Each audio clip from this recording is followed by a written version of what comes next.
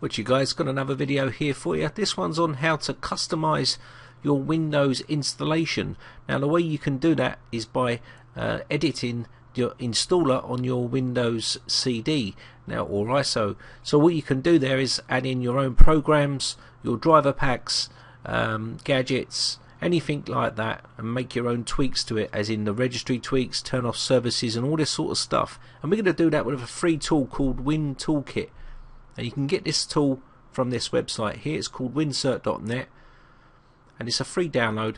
And if you're going to be using um, Windows XP, let me just uh, have a look here. If you're going to be using Windows XP or Windows Vista, you're going to be needing to install this DISM uh, installer.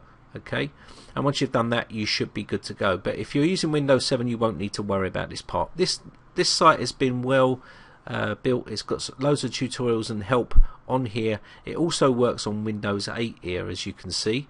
So if you've got Windows 8 and you wish to do some tweaks, you can do that as well. We're going to be using Windows 7 in this uh, case.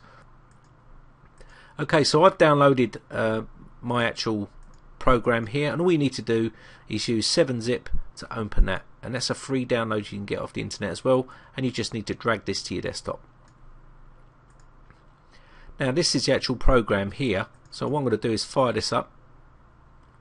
Now, it's a very powerful tool and it's uh, it's got a lot of good features on it. So we're not going to be able to cover them all in this video. I'll try and do my best uh, to cover as much as I can. Uh, we may need to do a couple of other videos.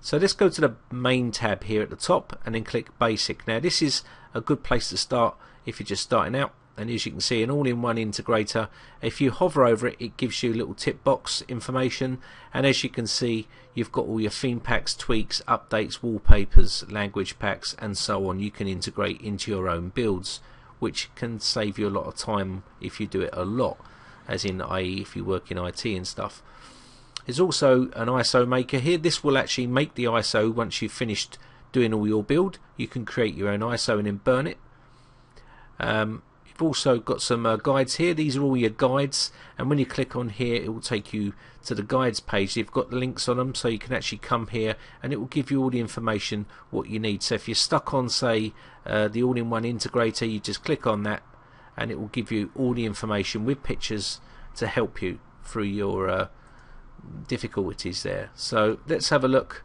at the um, next one.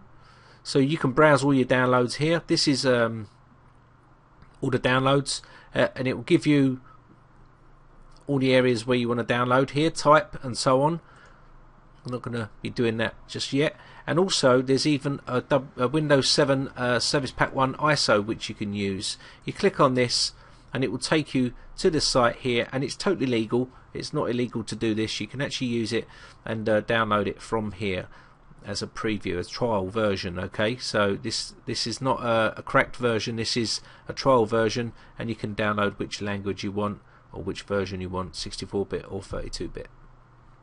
Okay, so now we've got that part out the way. Let's move on to the intermediate tab. We've got unattended creator.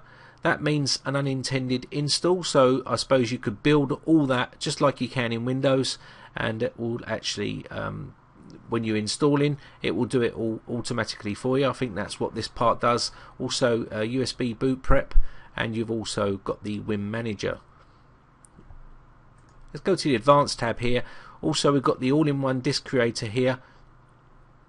Uh, component removal. Now this is to remove components as well. Be very careful if you're using this. Only use this area if you're pretty experienced at doing this sort of stuff. Don't be playing with these types of things if you're not sure okay? Also you've got a Win registry editor that allows you to edit the registry um, make changes to the registry tweaks and that. So when you do the build and install it will automatically have those changes done for you. Okay so leave these well alone if you're not familiar with this type of stuff okay let's move on to the tools tab here and as you can see we've got language uh, pack converter there we've also got MSP extractor uh, MSU cab converter, driver installer, updates installer. It's got loads of useful tools here. Uh, add-on maker so you can make your own add-ons and so on and so on. Okay. You've also got um, SWIM merger and also uh, WIM splitter. I'm going to go to the downloads tab. Now this is the first place I would be going if I was you once I start this program up. And what you can actually do here is download all your driver packs um, and also the, I think this uses uTorrent as well now like a torrent site now nowadays. So you'd have to download that using the uTorrent uh, gadgets. You can download all your gadgets and if you click on it it's linked straight to the gadgets page where you can get all your gadgets for Windows and you can incorporate these into your build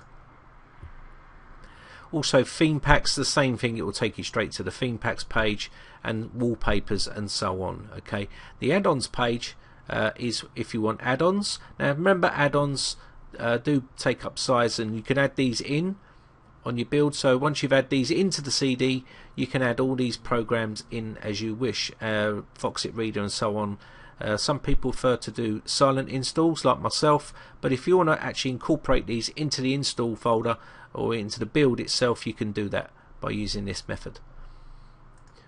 Okay. So let's get started anyway. Um, I've got my actual ISO image here of Windows 7 and what you need to do here is right click on it and use 7-zip to open the archive and here's all the files that you're going to need. Now I've created a folder inside my C root directory. That's what I've done and it's called Win7 and they're all the files. And all you need to do really is drag these files highlight them and drag them or extract them whatever way you want to do into that folder. Now you can put the folder wherever you like. I've put mine in my C root directory. Okay so let's crack on. So now I've got all that done I'm ready to go so I'm going to click on main and I'm going to use the basic one for this video just so people can see how easy it is so we're going to go straight in here and click on this now mine will load up automatically. So let me just uh, change this area for you so you can see what I'm going to do. I'm going to browse the specified WIM file. So I'm going to go to my C root directory now where I've got mine and it'll be in Win7 and you need to go sources and then inside here you'll see the install.wim. This is the actual uh, files where we're going to incorporate them into there. So when it gets installed, all them programs and stuff will install as well. Once you've done that. Okay we've got home premium you may have a slightly different selection here okay a list of stuff but we're going to select home premium. I've already done that so I'm going to click this and this is uh, what you're going to be faced with next. So what we're going to do is continue no present. And once you get here this is the next stage. Now what we need to do here is pretty simple. You've seen me use these types of programs before. We need to incorporate all our add-ons drivers gadgets and all this other stuff that you want to do. Now you don't have to. It could be very bare minimum uh, depending on how much you want to install. So I'm going to do add-ons here. And as you can see I'm just going to add in a couple of these. I've already downloaded them. That's what I'd advise you to do. Pre-download everything before you start all this. Uh, I'll add a couple of these in just to show you roughly what it's all about. And all you need to do is just get the downloads like I've showed you here. And now you can see these programs will be installed once we build. Now once we do the installation it will install all these okay? Okay drivers you need to download your drivers. I haven't downloaded any drivers uh, for this uh, for this uh, video, but you would you see me do this before. You just need to um, locate the driver same thing add drivers and then add them in okay gadgets same thing theme packs um, let me try and do I think I might have a theme pack here okay so we've got a couple of theme packs I'll just show you what I mean you just add the theme packs in like so So there your theme packs, they'll be added in. Um, also updates and languages, I never bothered with that, but you can do if you want to, and this is where you would do it. Same process, same thing, okay? Wallpapers would be the same as well.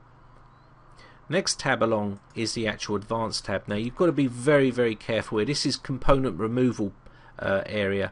Now anything you want to remove from your build when you're installing you can do it in this location here but be very careful because once you remove these it will be gone forever that's it they'll be uh, out of your build so for argument's sake um, if you wanted to remove a particular area, a particular file here, you can actually do it inside here, okay? And I'm not sure what you would want to do um, because everyone's got their own preferences. I'm not going to play around with this in this video, but you could uh, say remote assistance or anything like that. You could put ticks in here and get rid of them, and when you install it, this will be missing from the actual uh, build, okay? Same thing with vLite. You've got uh, accessories and so on you can sort of rip out just about anything really files services here you can adjust all your services here if you wanted to so when you install them that's how they will look when they're installed. So if you want to get really geeky about it you can basically set up all your services how you want them automatic stopped and so on and so on and you could do that from here. Silent installers same thing. You get a silent installer. Once you've added that you need to add the file path okay so let me just see if I can find one I have one here which we can use and then you need to do the install switch and then you click OK and then that will install okay once you've get to that stage same thing with tweaks really. You can tweak up your context menu. I'm not going to get too heavy into it because it takes too long. Um, but you've got more time than me. But as you can see, context menu, uh, desktop, and so on and so on. You can do all your little tweaks here, uh, which will speed up your uh, installation and also speed up once you're using your system. Save you having to go through and do all these tweaks afterwards. You can do it all on the build and the install you can turn off firewalls and so on and so on okay you can generally see everything here it's quite it's quite good okay so that's out of the way. We're going to go to the options tab here and as you can see you can just basically tick in here what you need to do uh, reset default theme and so on and so on um, and do your final tweaks here. And once you've done that we're pretty much good to go. Okay. So the next thing you want to do is uh, click OK here. Now that's checking. I'm going to click on start and that's uh, checking here. It's getting the update list. It's just integrating all my stuff that I've done. And once that's all done, we'll be able to create the ISO image. Now this bit can take a bit of time so just leave it well alone and let it do its thing. Okay so that's now complete. That took 3 minutes and 24 seconds. So as you can see we've got complete down there. So all we need to do here now is close this off. Now what's happened is inside our install.wim file all those files that I've added have been installed. Now obviously the more stuff you add, the longer it will take. But if I come down to the install.wim file, this will now be all the files that I've put are all integrated into here. But now we need to create this ISO, and what we need to do is uh, come to ISO Maker, and we need to put a folder to be captured. And I'm going to locate my Win7 folder and select that. You can put what label you like in there and then we need to select an output which is where we're going to save our actual um, ISO image. So this just say for argument's sake I wanted to save it inside that Win7 folder. I could do and we could call this whatever I like. So we're going to just call this um, Win7 and then click save. And once we've done that you've got the location there. And then we click on start. Once you've put your ticks in what you want to do and then click start. And this will then start rebuilding the ISO image ready for burning and then we could install that onto any machine with all our add-ons updates. And hopefully if all goes well and you don't get any errors you should have a nice custom Windows 7 CD or DVD now you will saw you will see a, a command prompt box pop up. Don't worry about that. That's pretty normal. And as you can see it's just doing its thing there. So just let that do its job.